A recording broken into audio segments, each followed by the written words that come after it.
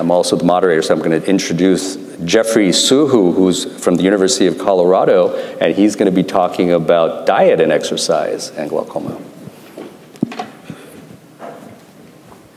Thanks, Dr. Lin. Uh, thanks to the organizers for inviting me to speak today. I'll be talking, as Shan said, about diet and exercise and their role in glaucoma. Um, I have no financial disclosures.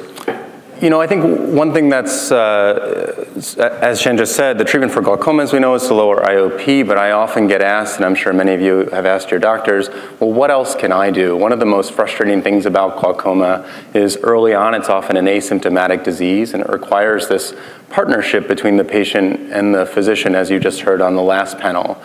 Um, but you know, if it's a disease that you can't experience, unless your eye pressure drastically changes, you can't feel that change in eye pressure. And it's, I think, it, of course, quite frustrating for patients to not feel like they have any control. And so they're often asking me, well, what else can I do? I'm already taking my eye drops. I set my alarm. I take it at the exact same time every day, even if I'm in a different time zone. So, you know, what can I do? How do I control it? In terms of diet and, and, BMI or body mass index, which is a calculation based on your height and weight, increased obesity has been linked to increased IOP, but the mechanism is a little bit unclear. There's some thought that there's some oxidative stress associated with being overweight that leads to malfunction of the trabecular meshwork. There might also be increased orbital fat deposition that impedes aqueous outflow and increases your IOP, or some dysregulation of the blood flow behind the eye. But the actual relationship between BMI and open-angle glaucoma is very unclear. There are studies that have shown a negative association, some that have shown a positive association, and some that showed no association. So really no clear evidence specifically. Now that being said, you know, obesity obviously has other side effects in terms of your overall health, and so maintaining a healthy weight is a good idea really for any condition. We'll talk about different types of exercise. So aerobic exercise has been shown to decrease IOP, and strength training and yoga can both increase IOP in certain situations. Once again, things that are good for your overall health are likely to be good for glaucoma. Aerobic exercise improves your kind of blood flow, your systemic circulation. And one of the theories in glaucoma, as Dr. Lin was just saying, is, well, maybe sometimes we're really just not getting enough perfusion to the optic nerve. And if there's not enough oxygen and nutrients getting to the optic nerve, then that can be a factor in glaucoma as well, sort of separate from IOP in some way. And so anything that improves your systemic perfusion is likely to be good for glaucoma as well. Some studies specific to glaucoma, it's been shown that brisk aerobic exercise for 30 to 45 minutes, three to four times a week, lowers your IOP and improves your blood flow to the brain and the eye. Increased physical activity has been linked to slower rates of visual field loss in glaucoma, and exercise in sedentary patients may have a, a, greater effect than just increasing exercise the same amount in people who are already active. In terms of strength training, anytime you're kind of really straining, lifting heavy weights, that's why your you know, uh, doctor probably asks you not to hold your breath while you're getting your IOP checked. That increases your IOP at least temporarily. But it can be a very, very significant increase. So the, but, but it's also for a short period of time during strength training, maybe you know a few seconds or a few minutes at a time. So this is one where I really talk to a patient about exactly what they're doing and how severe their glaucoma is.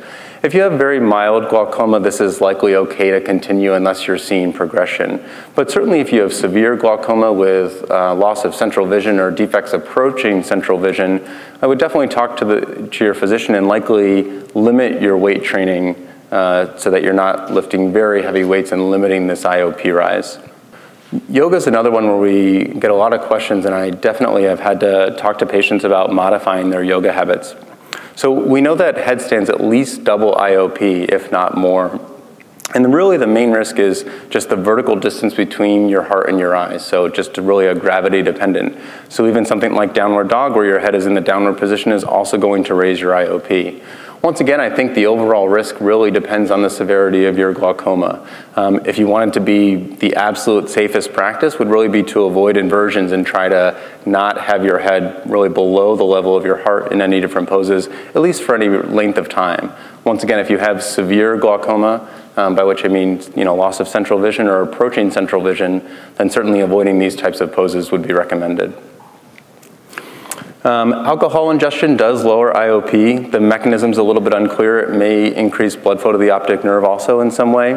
There aren't that many studies that show significant relationships between alcohol and glaucoma. Um, and like Dr. Lin was saying with marijuana, you know, these are very transient effects. And so unless you were to, you know, make a drug molecule that was derived from a, a similar chemical composition but didn't have the same neurological side effects, um, there's no specific indication to significantly alter alcohol intake um, other than, I think, just if you look at studies overall, in moderation would probably be kind of the correct answer for that one. Uh, for coffee and tea, caffeine can lead to a transient increase in IOP, but it is short-lived, and there hasn't been a relationship that's been shown between caffeine consumption and open-angle glaucoma.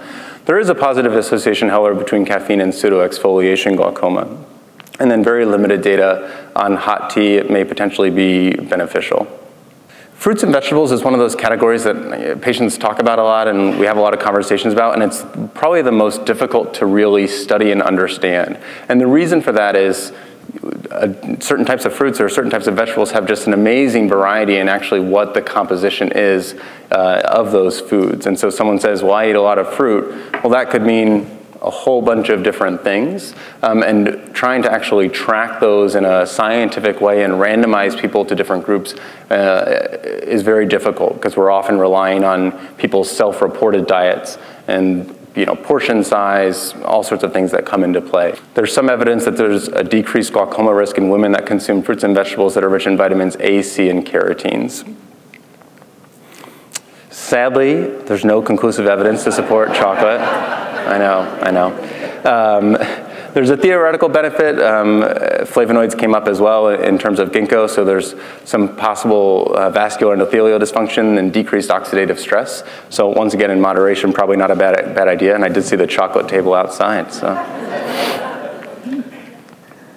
Um, black currant is an interesting one that I've seen a lot more data coming out about recently. Um, also has antioxidant properties and has been shown to uh, decrease uh, some factors in the blood that increase oxidative stress and increase retinal blood flow and lower IOP. And there was actually one study um, that showed a decreased visual field loss at two years compared to placebo as a randomized study. Um, so I would expect to see more research being done in this area in the coming years. Um, vitamins and omega-3 fatty acids, so I mean many of you have seen on the you know, aisle at the supermarket or maybe take uh, AREDS vitamins or eye vitamins for macular degeneration. And that data is based on you know, very specific studies on very particular types of macular degeneration. And so there's no scientific evidence to support specifically the use of those medications in patients with glaucoma. Um, but some think, of course, that antioxidants are, are helpful in glaucoma. Uh, limited evidence for omega-3 fatty acids, no significant benefit, benefit demonstrated so far. So bottom line, aerobic exercise is good, um, but caution with heavy strength training and yoga with inversions, especially in advanced glaucoma. So definitely very much dependent on the stage of your glaucoma. As I said, fruits and vegetables are just too varied in composition to draw significant conclusions about, but if you're eating a healthy, balanced diet, that's certainly not a bad thing. And then at this point, no supplements or vitamins that we have enough evidence to specifically say, you know, this is what you should take for your glaucoma. So sorry, nothing, uh, no bombshell there, but uh, thank you very much for your time and inviting me to speak today.